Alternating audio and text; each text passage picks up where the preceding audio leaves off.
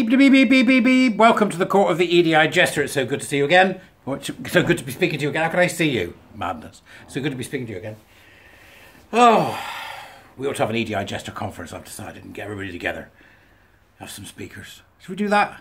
I wish. Right, so, what have I got for you today? Well, uh, right, there's Nutmeg on Twitter, right? Many of you will know Nutmeg. Excellent researcher, digs out stuff um, and then distributes. Really good, you know, a lot up with Tish and and the lies they tell in researching the nonsense and how far it can go of the um, critical social justice nonsense nutters. But this is a beauty, right? This is an absolute beauty. So I thought. I'm, it's 98 pages long. I am not going to read out the 98 pages. I'm not going to analyse every paragraph. But I thought I'd give you a flavour, and I'll put the link in the Dubris to Nutmeg's original tweet. Uh, so that if you want to go and have a look at the actual document itself, you can do.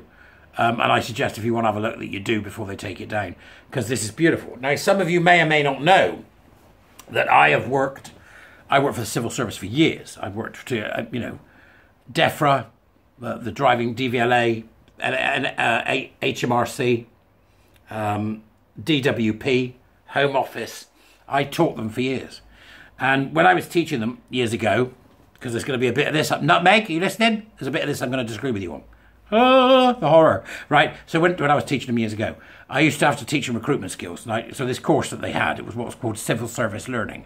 It was a terrible course, right? Because first off, it was a, it was it was a one and a half day course. Who does that, right? One and a half day course.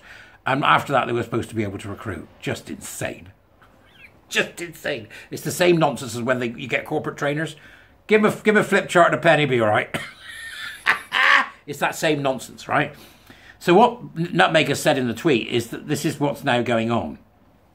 A new 98-page guide for UK healthcare CEOs and HR directors. So this is this is the top. This is up here, right, in the NHS or for healthcare. Um, to support trans staff with a foreword, 98 pages, with a foreword from the NHS Confederation CEO provides recommendations, including sending interview questions to them in advance, as the process might intimidate them. Right, so first things first, this is the NHS, not the civil service, but, you know, like trying to, you know, put a carrot between a particularly tight pair of bum cheeks sometimes, especially when it comes to learning. So, Nutmeg, interesting, you may find this interesting.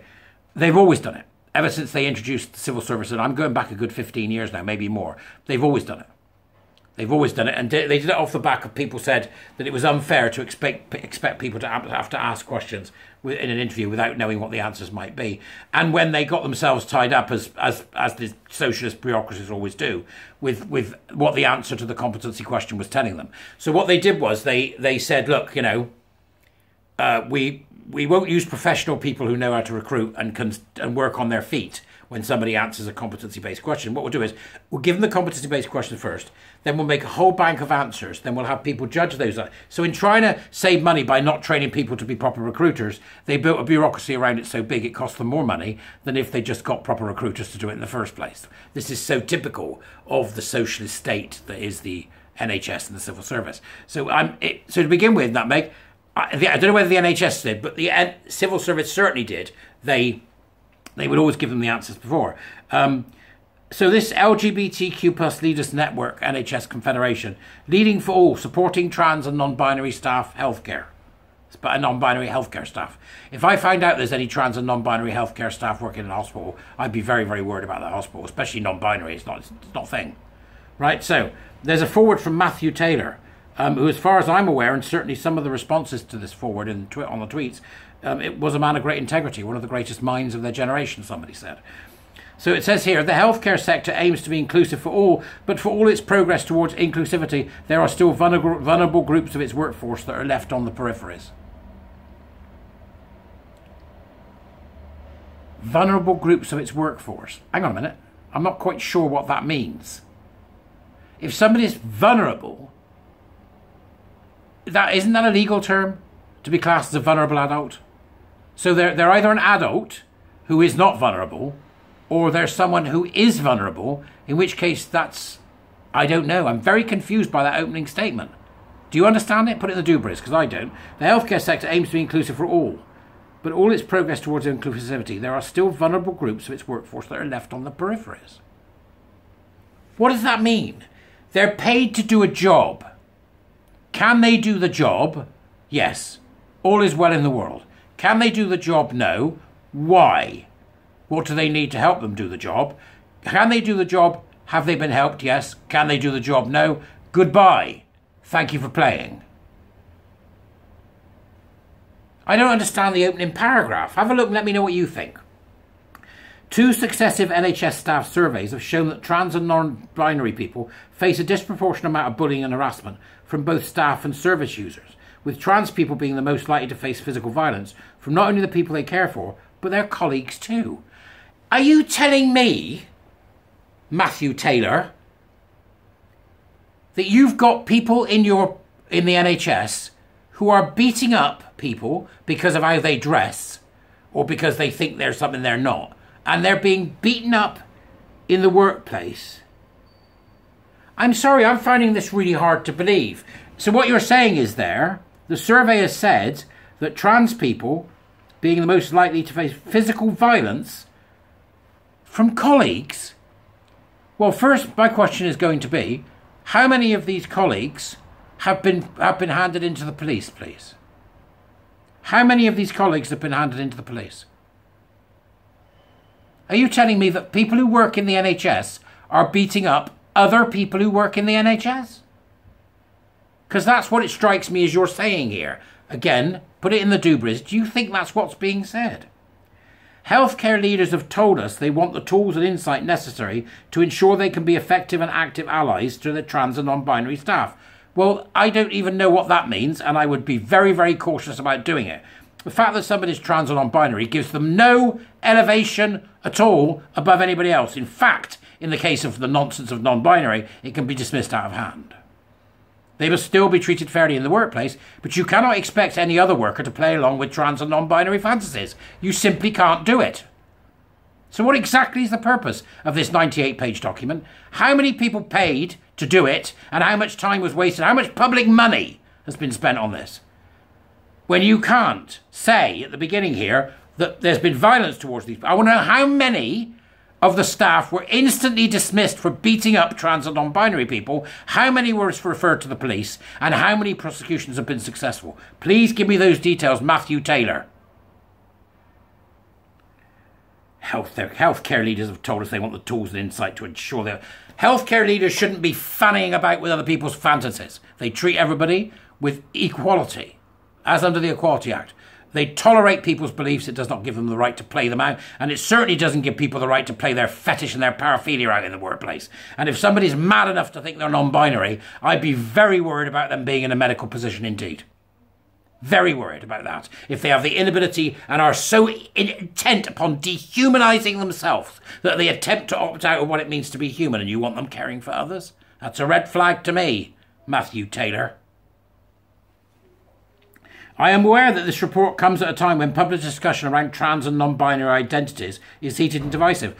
It doesn't matter. So what?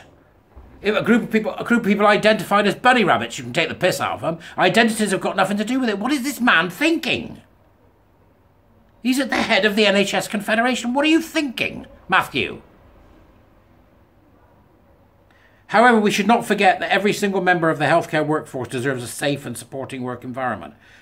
Yes, safe from a health and safety perspective, supportive in that they are supported to do their job.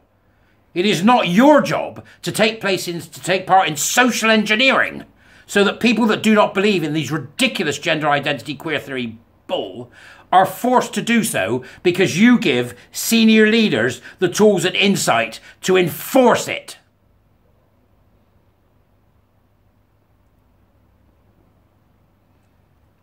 Oh. I hope that this, ga- this guide goes some way to achieving that. Matthew Taylor, um, you're a spider, mate. You're at the heart of it. You're a spider. It's not rare. It's rare we see you come scuttling out from the centre of the web, but you are a spider. Okay? So to add just the one bit that sort of struck me, because it's all in there for you to have a look at in the Dubris, but the one bit that struck me um, uh, accessible interviews. So for the marginalised and minoritised communities, uh, shut up. Everybody's treated the same. For trans and non-binary applicants, interview panels can be intimidating. Well, if perhaps if they stop being lunatics, it wouldn't be. If they are vi- if they are visibly transgender, right? How are you visibly non-binary? If they are visibly transgender, applicants may be concerned that piano will, that the panel will react with hostility or even be discriminatory due to their appearance. If I was on a panel that was interviewing somebody and I got one whiff of I'm getting off on having these knickers on, or I'm a fetishist or a paraphiliac, and I'm dressing this way because it gives me a, a euphoria boner, if I had one whiff of that, they'd be out of the interview room faster than you could say Jack Robinson. Differentiate, Matthew. Tell us, what do you mean by trans? Do it. That should be in there. That should be in. That should be the first thing you say. Right, so you excluding the eunuchs? What about drag queens? Somebody turns up dressed as a drag queen for an interview. You're going to be all right with that? How do you differentiate between the drag queen and the LARPing bloke, apart from the professionalism in regards to makeup? How do you? really? You know? Even for trans and non-binary people who can be stealth or pass. I mean, all non-binary people are stealth or pass because there's nothing to tell you that they are. They're just making it up. It's just it's a not it's a nonsense. It's like saying they're Father Christmas. And apparently they've got a glossary for more information. Go and have a look, folks. Tell me about the glossary. I'm going to leave that one to you. And then it says allowing applicants to prepare for the interview by giving them access to the questions beforehand. This may seem counterintuitive. Yeah, it is. It's absolutely counterintuitive. So what you're saying is that you want to give one group of people, the non-binaries, who are just fantasists, along with another group of people who are either unwell or fetishist paraphiliacs or confused youngsters. And you want to elevate them above everybody else by giving them the questions beforehand so that they can get the job roles and then become the activists in your midst. Matthew, I think you have many questions to answer, and, and it was interesting to see the, the amount of respect that you've garnered from people in the tweet originally put up by Nutmeg. It sounds to me like you're somebody who has fallen, and I'm sure that my Jesterites would like to know whether that's true. You have a look at the Dubris, have a look at the link, let me know what you think. All right, you can always put it in the comments here, or you can put it up on Twitter. Share this to Twitter. Let's get a conversation going around this because it's a 98 page document and it's relevant to HR directors and CS CEOs, which is important because it's up there in terms of the healthcare hierarchy. So share this from YouTube. Go and have a look at the full document. Get the full document link onto Twitter. Ask other people to have a look. Let's find out what's going on. What has Nutmeg actually uncovered here? But let's most of all recognize that trans and non binary identities are a falsity based on an individual's belief system, and you do not have to play along. Be respectful, be tolerant, but don't play along. Um, interesting one, this. Please go and do some work. Share. Let's get the conversation going. Great to talk to you. Thank you very much. Bye.